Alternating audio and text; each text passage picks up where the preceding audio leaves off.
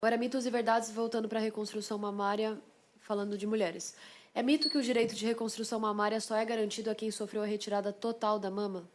Não, é, é tratamento sequela do tratamento de câncer. Se tirar um pedaço e deformar a mama, ela já tem o direito de reconstruir, a mama. Entram também situações específicas mais raras de até uma doença genética, por exemplo, que a pessoa pode ter uma... Sim, existem pacientes que não, que não crescem é, sem o bico, sem a mama, ou crescem com duas mamas, dois, três bicos. É, então, existem deformidades. A mama acessória seria uma, alter, a, a, uma alteração, só que também não é uma, uma cirurgia que a gente está abordando no, no projeto mas é uma deformidade mamária importante.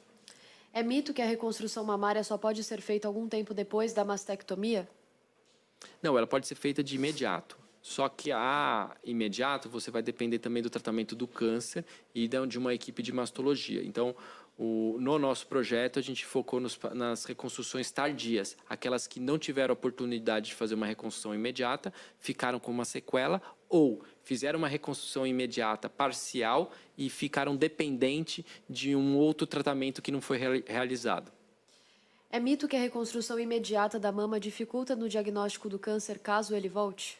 Desculpa, pode repetir. É mito que a reconstrução imediata da mama, ou até depois, não precisa ser só imediata, dificulta no diagnóstico do câncer caso ele volte?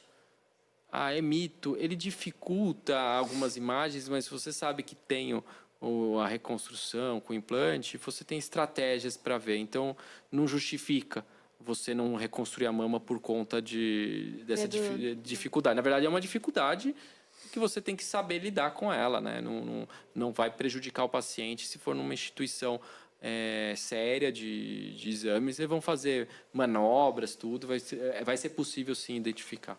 E tem algum momento, aproveitando já essa pergunta, tem algum momento que é considerado, igual a gente estava conversando no episódio anterior, é, é, que é considerado mais é, apto para o paciente procurar fazer a reconstrução, porque o projeto visa, como você citou agora, né, um, um, depois de um período que a pessoa não conseguiu fazer a reconstrução.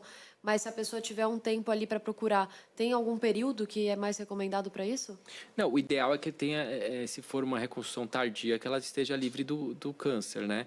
Então, se ela não tem nenhuma contraindicação. Às vezes vai, fez a, a, retirada da mama e vai fazer quimioterapia, radioterapia. Então não é o momento de fazer reconstrução. É, se não fez imediato, vai ter que esperar mesmo, né?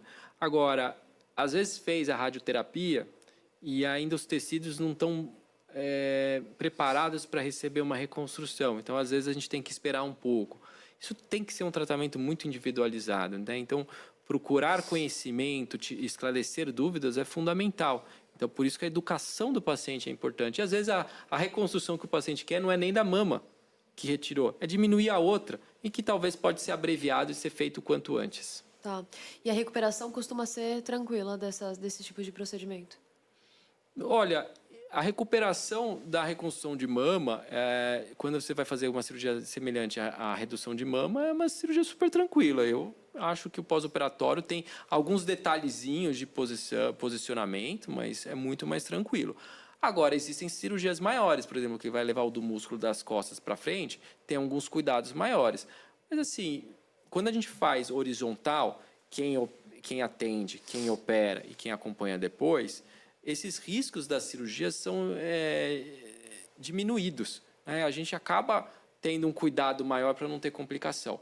Então, o, a cirurgia em si, ela vai e, e o pós-operatório a gente consegue orientar muito melhor quando a gente faz de forma horizontal, começo, meio e fim.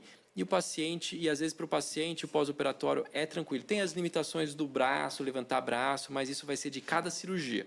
Por isso que a gente precisa estar sempre conversando com o paciente para entender o pós-operatório.